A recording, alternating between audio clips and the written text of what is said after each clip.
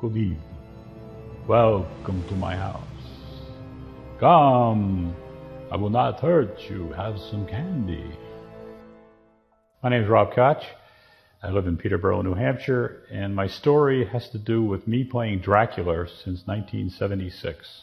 Basically, my son was about eight years old, and I know I have my house I've had since 75, and didn't seem to be that many kids coming around for trick or treating. So I said, well, you know, I remember my growing up in New York that I started doing it. So it was Dracula, and I've been doing it ever since. I like old movies, and I remember, of course, Bela Lugosi doing Dracula. And although, so that's pretty much why, you know. And I was always interested, you know, the horror flicks and stuff like that. So, and that's why Dracula. And why I keep doing Dracula is because pretty much my fan base of little kids is expects me to be Dracula.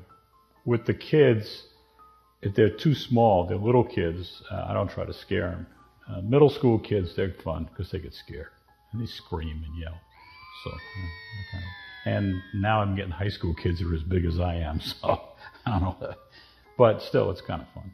I know that one of the first couple of times I did it, uh, the house is big, and I was like an overhang above the front door, and I would sit up there, you know, not directly with the kids, and I'd have like middle school kids coming down the street, and they would look up and they say, "Hey, wow, look at that dummy! Wow, that's great!" You know. And then I would move just a little bit, and of course that would freak them out, and they realized that I was real. And then I'd get into my act of the accent and stuff like that.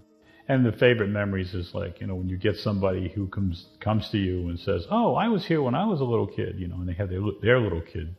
So you know, luckily Dracula's not dead. I've been around for so long. So, so.